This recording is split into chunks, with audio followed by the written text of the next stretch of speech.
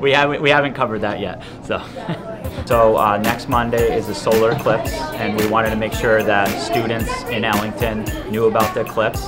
And our PTO was wonderful in uh, purchasing solar eclipse classes for any who are interested, and also uh, materials for us to make pinhole viewing boxes. They explained everything really well, so I could understand what really happened. So the moon comes between the earth and the sun, and so like the moon covers up the sun. I really liked how they showed the picture of like um like the time lapse of the solar eclipse. You can't just like see it wherever. You got to see where to go to get the direct shadow.